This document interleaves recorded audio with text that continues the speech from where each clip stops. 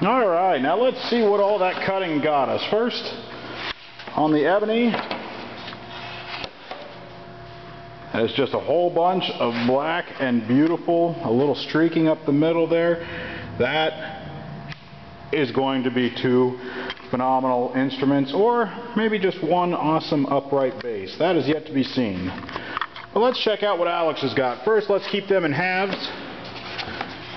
And as we open this up, holy crap, is that just beautiful. All right, Alex, your choice is going to be tough. We can open them up this way. We can open up this way and make the sapwood a feature towards either end. I'd recommend the bridge if you wanted that. I mean, you've got no bad choices here. It's just going to be tough to choose between all of the awesomeness. And on the other set,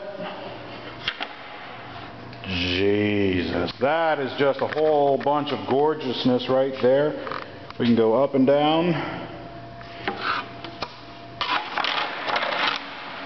You can open up the other way and that adds a really cool streak down the middle. So you have your choices in front of you. So let's go back to Let's call this one option A.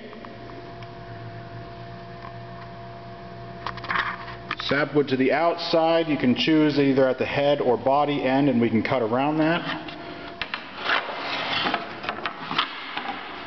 Let's call this option B, sapwood to the inside, and again you can make that head or body. In my opinion the aesthetic would be best if that's towards the body. I mean these areas are just beautiful. That's just going to be an absolutely gorgeous instrument. Let's call that option C, and you can just ogle that grain all the way up and down. No sapwood, but you do have matching knots, which I would recommend filling with some crushed abalone. Some paua abalone would really add some blues to these purples and oranges, which would just be a subtle touch. You could go straight up pearl for a white look. Options are up to you. And book match option D.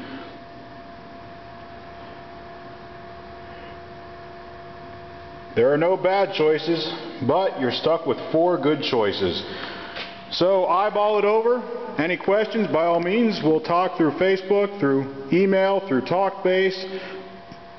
We can probably get some drawings on these boards sometime soon, and hopefully you can choose what you want and maybe narrow it down to just one. Good luck.